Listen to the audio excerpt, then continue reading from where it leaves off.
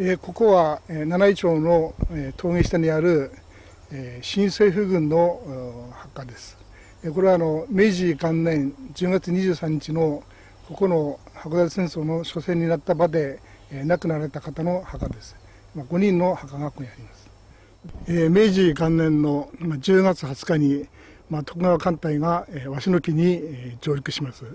まあ、土方対応については多分、まあ、当時の映像についてはまあ、あまり詳しく地理を知らなかったと思います。それで鷲の木から、えー、数名の若者を現地採用して、まあ、道案内をさせております。ただ当時10月20日というと現在の、えー、12月3日これになっております。えー、当然、まあ、今よりもかなり寒いかなり温度も下がっている状況だと思います。まあ、その中で、まあ、本州の部隊が、まあ、歩いたということは、まあ、非常に大変な努力があったと思います。特にやはり角組峠というのは、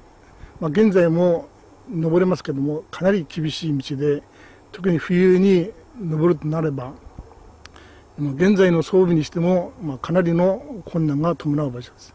それを当時の、まあ、軍服一枚で来た、まあ、兵が、まあ、そこを登ったということはもう賞賛に値するような、えー、出来事でないかなと思います。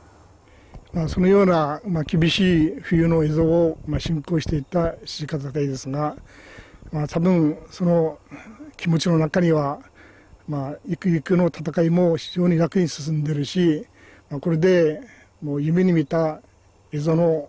開拓と北方警備、まあ、これができるという大きな夢に向かって多分一歩一歩進んでいったのではないかなと思われます。